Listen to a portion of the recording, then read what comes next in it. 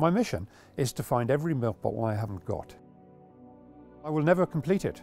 And in all honesty, I never want to because while I'm still looking, they're still out there and I'm still meeting people and having a great time. Sadly, over the years, um, I have some compatriots who collected them and um, they popped their clogs and I've inherited their collection. So I'm a custodian of their bottles as well as my own. I have been trying over the years to get um, a National Milk Bottle Museum organised so that all our collections can go to that. But unfortunately, interest isn't keen.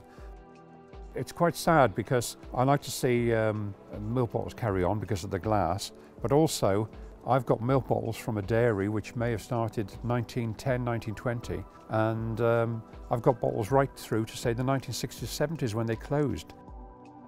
When I get a milk bottle for the first time, you look at it and you think, first of all, I like its glass, I like the design on there. I wonder about the milkman who picked that design out of an art book, all the times he had that bottle in his hands and what he did with it. And every bottle even when I end up with it and it's finished its life as far as he's concerned, it's something that's never going to be reproduced, it's never going to happen again. It's, it's almost like a one-off and it's there. A wonder to behold.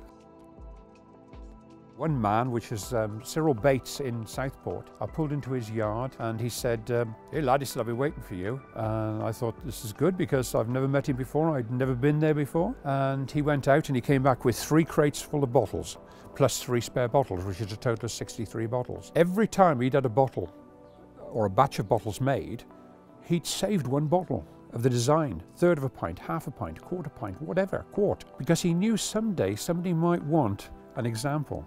And it was me.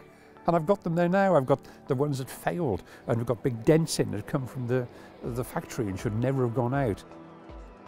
It's only the older generation now who would say that if you don't have milk in a milk bottle, um, it doesn't taste the same because the people who have it in a carton don't know any different. But if you've had milk from a farm before, well, it's just been bottled, that milk is so sweet. But when you've had fresh milk in a carton, it might have been fresh milk once, but regardless of what it says on the carton, when was it fresh? Where's it been? How many times has it gone down the country before they um, took it at the tanker, pasteurised it and cartoned it? I don't like milk. I think it's baby food. And ever since they brought out uh, what I call blue milk, which is that milk with no fat in it. Have you ever had cornflakes with skimmed milk? It's awful. You've got to smile a lot. You've got to have fun.